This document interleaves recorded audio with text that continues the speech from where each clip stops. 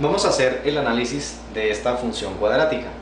Lo primero que vamos a hacer es reescribirla así. Cambiamos y por f de x, que es lo mismo, y aquí organizamos la función como menos x al cuadrado más 2x.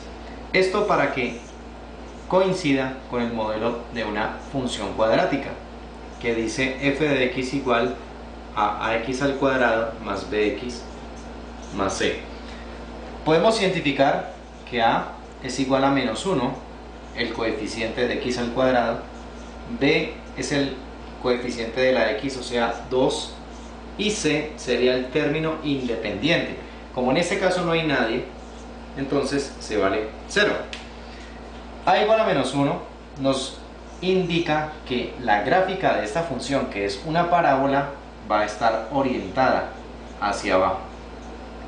En ese caso, el vértice de la parábola va a ser el punto máximo, el punto más alto de la función.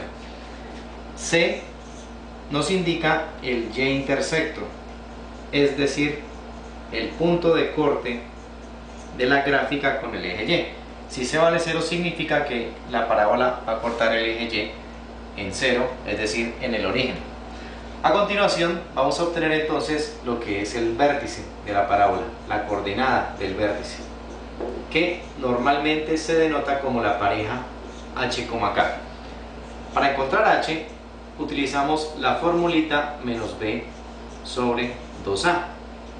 Vamos a reemplazar entonces los valores de b y a. Para eso se recomienda abrir paréntesis donde está cada una de las letras B vale 2, lo colocamos acá, y A vale menos 1, lo colocamos aquí, resolvemos, esto queda menos 2 sobre 2 por 1 menos 2, que es igual a 1 positivo, H vale 1.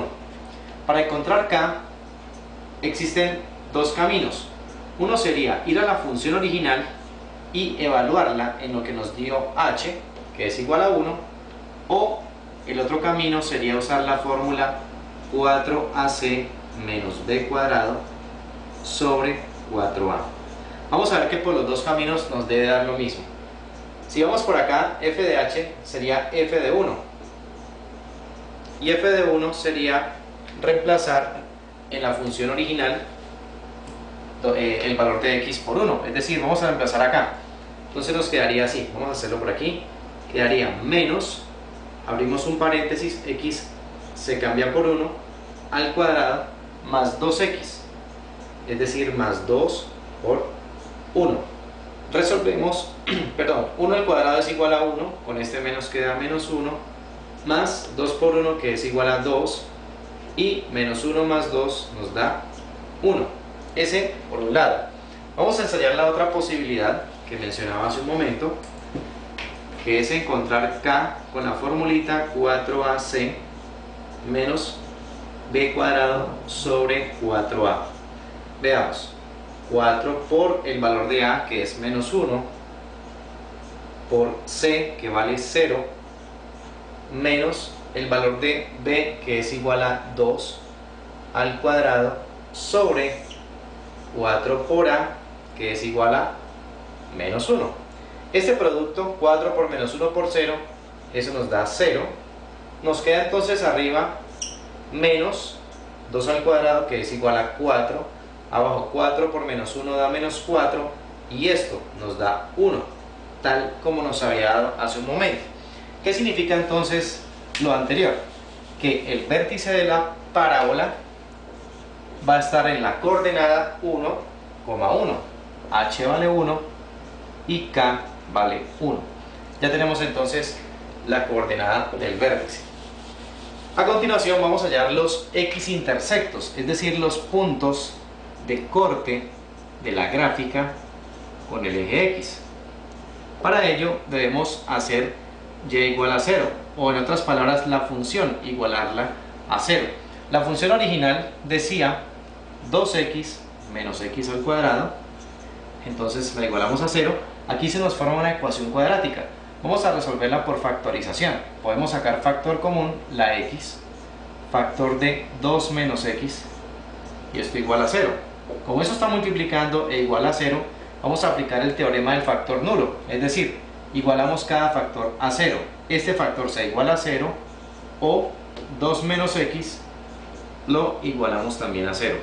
Por aquí ya tenemos entonces un valor, una solución a esta ecuación y por acá despejando la x, podemos pasar esta x que está negativa al otro lado positiva, allí nos da que x vale 2. Significa esto entonces que los cortes con el eje x de nuestra función van a estar en 0 y en 2. A continuación vamos a hacer la gráfica de esta función. Vamos a llevar al plano cartesiano toda la información que hemos encontrado hasta el momento. Trazamos el eje Y,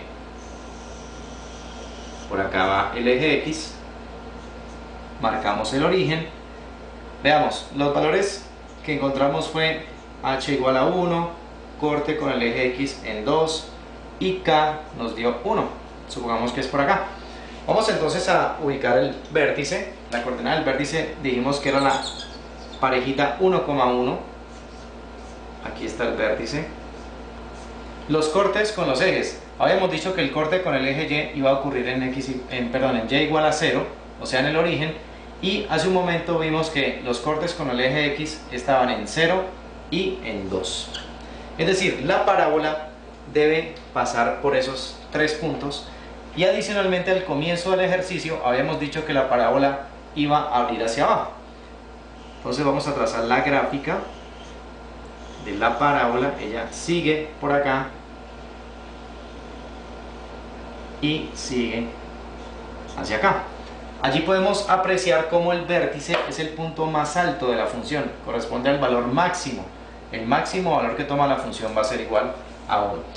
Otra cosa que podemos eh, determinar aquí en este ejercicio es lo que se llama el eje de simetría, que es una recta vertical que pasa por el vértice. El eje de simetría es simplemente una recta que divide la parábola en dos ramas iguales. Es decir, la rama izquierda va a ser igual a la rama derecha. La ecuación del eje de simetría, en este caso, por ser una recta vertical que pasa por 1, va a ser x igual para terminar, podríamos determinar lo que es el dominio de la función y el rango de la función. Recordemos que el dominio constituye eh, el conjunto de valores que toma la x en la función. Para este caso, por tratarse de una función cuadrática, cualquier valor de x es bienvenido. Cualquier valor negativo, cero, positivo, decimal, fraccionario puede entrar a la función. Por lo tanto, el dominio se dice que son los números reales, los x que pertenecen al conjunto de los reales. Y el rango de la función van a ser los valores que toman la y en la función. En este caso vemos que la parábola toma valores desde 1 hacia abajo. Es decir, podemos decir que son los y menores o iguales que 1. Este sería entonces el rango. También este conjunto se puede expresar como los y pertenecientes al conjunto que van desde menos infinito hasta 1. Menos infinito abierto y 1 cerrado. Allí terminamos entonces el análisis de la función.